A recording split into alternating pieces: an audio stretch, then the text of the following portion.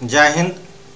आज मैं आप लोगों को बिहार में शिक्षा विभाग में मानव बल मानव बल की जो वैकेंसी निकली हुई है, उस पर मैं चर्चा करने वाला हूँ।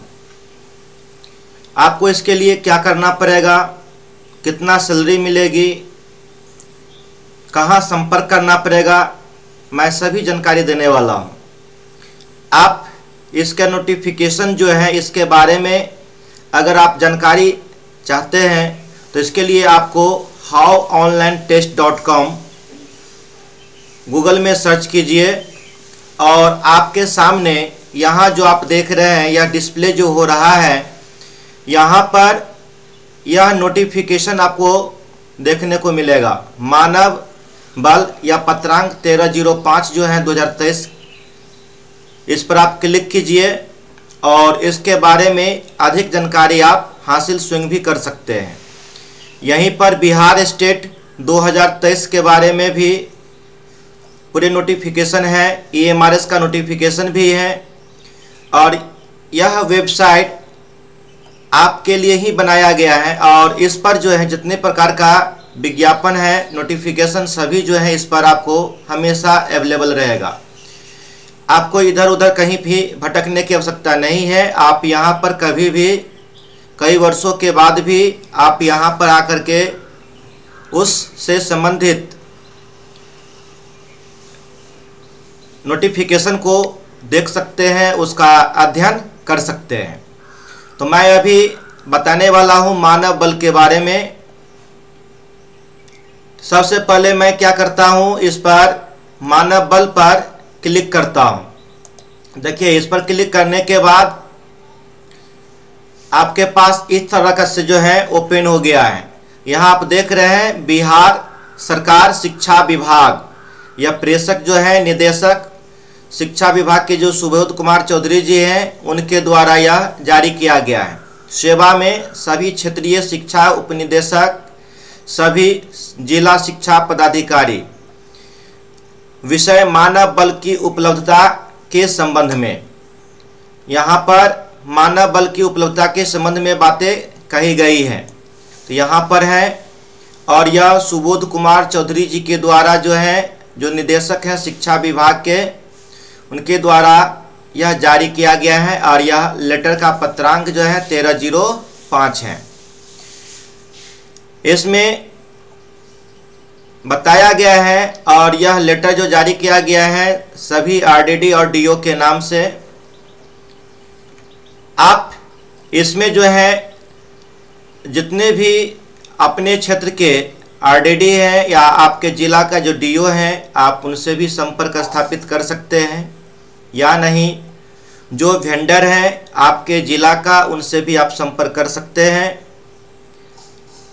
और अगर आपके नज़दीकी किसी विद्यालय में या बीआरसी में अगर सीट अवेलेबल है तो डायरेक्ट वहाँ पर भी आप उस कार्यालय से भी संपर्क कर सकते हैं। तो यहाँ पर देखिए लिखा हुआ है, महाशय, जिला स्तर पर, प्रखंड स्तर पर एवं विद्यालय स्तर पर भांति भांति में मानव बल की आवश्यकता की पूर्ति हेतु विभाग में एक इनेबलिंग प्लेटफॉर्म देते हुए केंद्रीकृत तरीके से निविदा निकालकर इन मानव मानव बलों को आउटसोर्सिंग के आधार पर लेने हेतु दर और वेंडर दोनों तय कर दिए हैं। जिला स्तर पर, प्रखंड स्तर पर अथवा विद्यालय स्तर पर यह मानव बल लेते वक्त कृपया उपलब्ध बजट को देखते हुए मानव बल लिए जाए। जिस कार्यालय, विद्यालय में कितने मानव बल की आवश्यकता है, इसकी सूचना कालांतर में भेजी जाएगी। किस ज़िले में कौन सा वेंडर मानव बल उपलब्ध करे, करेगा? इसकी भी एक इंडक्टिव सूची संलग्न की जा रही है। इसी लेटर के साथ पूरा सूची है। आप उस वेंडर से भी आप अपने जिला का संपर्क कर सकते हैं। किस ज़िले में कौन सा वेंडर मानव बल उपलब्ध करेगा? इसकी एक इंडक्टिव सूची संलग्न की जा रही है। यह सूची कालांतर में भेजी जाएगी। किस और यहाँ पर जो है, देखिए यह सूची इंडिकेटिव है। यदि आपको लगता है कि संबंधित वेंडर की सेवाएँ ठीक नहीं है तो आप अपने स्तर से अन्य वेंडर से भी मानव बल की सेवा ले सकते हैं। यह भी ध्यान रखा जाए कि सबको लगभग समान मूल्य का कार्यादेश निर्गत हो, ताकि किसी वेंडर को यह कहने का मौका न मिले कि जिला स्तर पर उनके साथ पक्षपातपूर्ण रवैया अपनाया गया है। उपर्युक्त व्यवस्था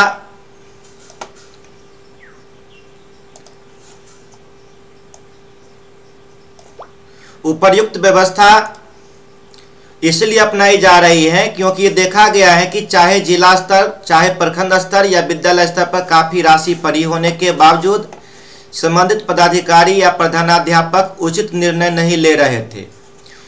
क्योंकि सरकारी मद में जो पैसा होता है, चाहे वह विकास कोष हो, छात्र कोष हो, उसका खर्च करने के लिए बिना विभागीय अनुमति का खर्च करना थोड़ा कठिन होता है, इसलिए कोई अपना उचित निर्णय नहीं ले पाते थे। इसलिए सरकार सोची है कि क्यों ना सभी जिलों में जो है, एक वेंडर के थ्रू जो है, बहाली कर दी जाए। तो इसीलिए विभाग ने यह दरें तय किया और सभी संबंधित कार्यालयों, विद्यालयों को एक सुविधा प्रदान की गई। सभी कार्यालय, विद्यालय उपयुक्त वेंडरों के अलावा भी किसी भी वेंडर से उपयुक्त दर पर अथवा उससे कम दर पर भी उपयुक्त मानव बल लेने के लिए स्वतंत्र होंगे। तो मैं अब इस पर भी थोड़ा चर्चा करूँगा कि यहाँ पर किस पोस्ट के लिए कितनी जो है आपका सैलरी मिलने वाली है। यहाँ आप देख लीजिए। यहाँ जो है प्रोग्रामर के लिए अगर आप बी बी टेक किए हुए हैं या एम सी ए या इक्विवेलेंट हैं इसके तो आपको इसके लिए पैंतीस हज़ार रुपया जो है देना, मिलेगा। यह आपको मासिक वेतन है, पैंतीस हज़ार रुपया। अगर आप कंप्यूटर ऑपरेटर हैं और आपको टैली आता है और हिंदी इंग्लिश का typing speed minimum thirty word per minute है और आपकी क्वालिफिकेशन भी कम है तो आप इस पोस्ट के लिए अप्लाई कर सकते हैं। इसके लिए आपको सोलह हज़ार रुपया मासिक वेतन मिलेगी।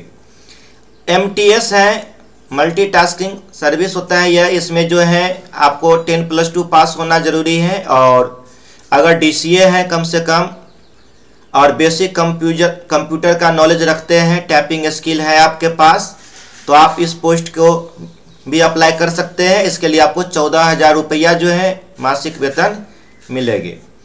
अगर आप स्टेनोग्राफर हैं ग्रेजुएट और आपका स्टेनोग्राफी जो स्पीड है 100 वर्ड पर मिनट है या उससे एभव है और टैपिंग स्पीड जो है कम से कम 45 वर्ड पर मिनट है तो आप जो है इस पोस्ट के लिए अप्लाई कर सकते हैं और आपको यहाँ पर बीस हज़ार रुपया मासिक वेतन मिलेगी।